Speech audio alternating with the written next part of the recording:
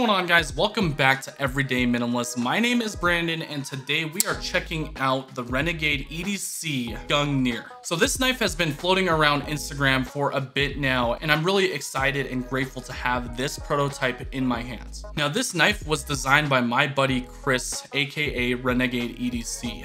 This man is literally the jack of all trades when it comes to the EDC realm. I featured him a few times on the channel. If you guys don't remember, he makes hanks, he does leather goods. He's now looking into making beeswax candles, and now he has a knife design under his belt. The Gungnir is not for sale right now. Just go to the link in the description below, and I will leave the link to get email updates on this awesome design. I believe reservations are gonna start happening in July, so guys, make sure that you stay up to date. I will also leave Chris's Instagram information in the description so you guys can go ahead and give him a follow and then see if you can get more updates that way as well. So let's go ahead and talk about Gungnir. This is a knife that is completely out of my comfort zone. It is just absolutely ginormous. And the first time I actually flicked this thing open, it was just huge. To give you guys a quick example, here's the Benchmade bug out next to Gungnir. And then the Spyderco Para 3. Just look at the sheer size of this thing. So yeah, it's definitely out of my comfort zone. You guys know that I wear a lot of athletic apparel, whether it be basketball shorts or sweat shorts. But surprising enough, this thing is actually a little bit different in pocket than versus when it's actually deployed. The cool thing about this specific design is Chris actually made it very slim line, so it's pretty slender in the pocket. Even though it's pretty heavy, it actually doesn't take up a ton of pocket real estate. Now guys, the only EDC folder that can possibly compare to Gungnir is going to be the Cold Steel 4MAX Scout. So the 4MAX Scout literally gets no pocket time. I don't even have a pocket clip on it just because of how thick it is. Like I don't carry this thing, it stays in the house and I use it for really robust tasks. Now just check out the handle difference between the 4MAX Scout and Gungnir. Gungnir is just very slender and sleek. This knife is actually going to be produced by Reate, and if you guys have ever handled a Reate knife, then expect that type of action. Now the action of this knife is just super unique. Just look at how big that knife is. If you really want to just be the biggest dude in the room, then you'll want to carry this knife. It's super smooth and it doesn't fire with authority, but more so elegance. It's also a complete guillotine, so um, basically it's a fall shut without fail type of action when you go to close the knife.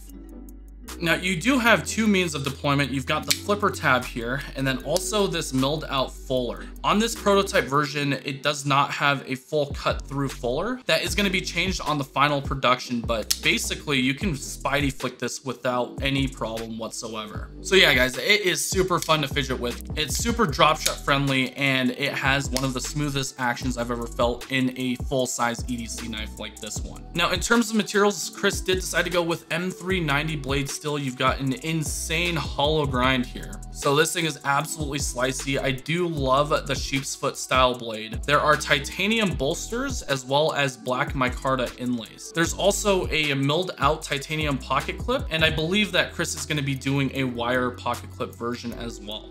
So this thing is made with really good premium materials. So looking at the knife from a top view, you have some jimping here on the blade spine, and then you do also have this really nice titanium backspacer. It does have a lanyard loop built in, so for those of you guys that are lanyard users, then you can easily add one of those to this beast. Now Chris did add in this forward finger choil, so you can really choke up and get into those more precise cuts. Now like I said before, I can fit my hands around this large knife no problem. Now I did have one gripe with this knife and that would be the pocket clip. Um, it's a little bit tight and I wish that it was just a little bit taller. But I believe if you guys go with the wire pocket clip variant, you guys won't have a problem. My buddy MB Wild on Instagram actually handled the wire pocket clip version of Gungnir and he swapped in a Lynch aftermarket pocket clip. It looks like it would just solve all those issues that I had. I know Chris is going to be making some changes to this pocket clip. So once I get the full production one in hand, I'll give it its full review. Now, the one thing that impressed me the most is gonna be the actual sound it produces. Let me be quiet for a second and just hear this thing.